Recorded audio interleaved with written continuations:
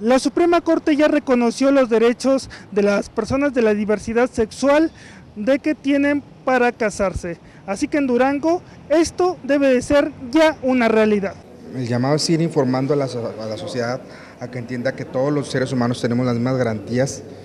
individuales y los derechos. Yo creo que este logro del matrimonio que se genera como este matrimonio universal y no como matrimonio entre, dos personas de, de, diferentes sexos es un gran avance para la sociedad de México,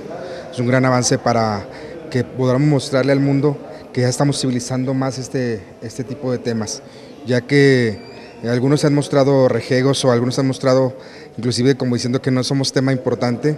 pues somos el 10% de la población de este país, entonces tienen que entender que esta minoría está muy visible, queremos visibilidad y por eso este, se logra este triunfo para la comunidad gay. El Código Civil tiene que acomodarse a la evolución que va, a estar, que va a vivir el país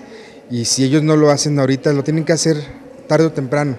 pues que sigan respetando porque la ley es laica y entonces vamos a respetar la ley.